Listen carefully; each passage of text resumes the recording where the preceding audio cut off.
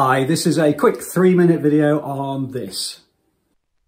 Hi, this is the fifth video in the series where we're looking at five popular questions and it's worksheet three, which is the predicted questions for this year's GCSE. Please do download from 3 Minute Maths or alternately stop the video, have a go at each of the questions and then compare your solution. In the previous video we completed through to question number four.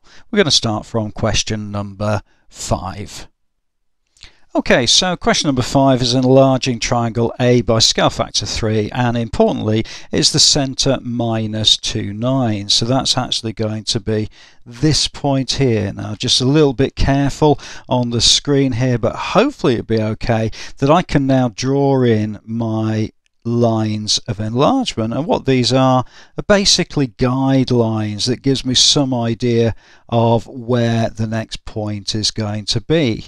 Okay, now your writing and your uh, work on your paper might be a little bit neater than mine, but hopefully it'll give you some idea of what we're looking to achieve. So basically we enlarge by vectors. So if we look at point A, which is the first point here, it's called a vertex, then A from the origin, which is going to be this point over here, is going to be a movement of 2 along and 0 up. So a vector of 2, 0. I'm going to multiply that by 3. So therefore it's going to give me now a vector of 6, 0. So I basically move 6 jumps and rather than 2, so 1, 2, 3, 4, 5, 6 jumps across, which is going to get me to this point here.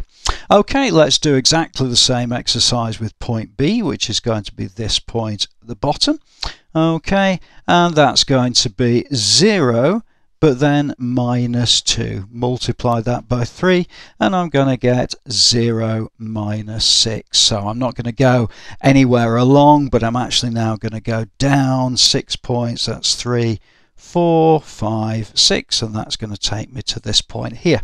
And that would be, if you like, B prime or something like that. Okay, let's have a look at point C then.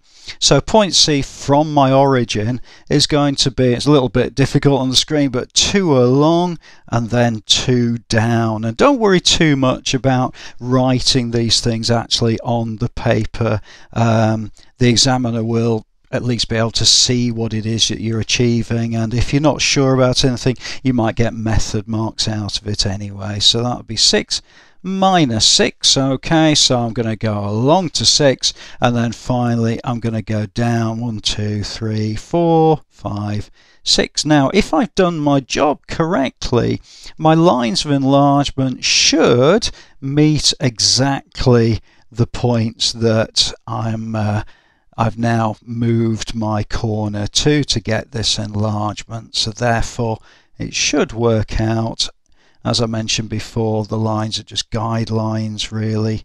Okay, and that's going to be about there, mm, slightly further around. Okay, all right, that's going to be there.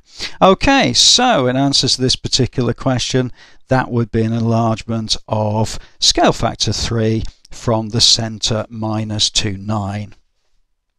Okay, so I hope the video was useful. Please do add a comment below if you're not sure about anything. I'll always come back to you. Subscribe to the channel. I'll look forward to seeing you inside the next video.